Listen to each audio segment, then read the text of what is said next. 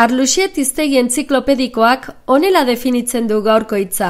Adar bakoitz, izen ondoa, adar bakarra. Bi, izena, alegiazko animalia, zaldi gorputzez eta bekoki erdiko adar zuzen batez irudikatzen dena. Guk bigarren adierari erreparatuko diogu. Hau da, izena, alegiazko animalia, zaldi gorputzez eta bekoki erdiko adar zuzen batez irudikatzen dena.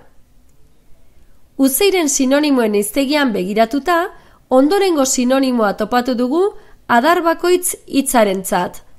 Adar bakar. Hainbat iztegitara jo dugu, beste hizkuntza batzuetan nola esaten den jakiteko, horra hor gaztelaniaz, frantsesez, portugesez eta ingelesez.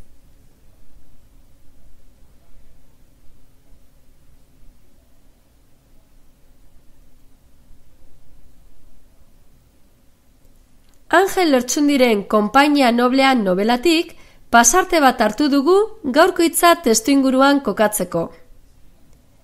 Bada adar bakoitza izeneko animalia bat, garbia eta garbizalea, adar bakarragatik guztiz preziatua, baina iztariek harrapato ezin dutena.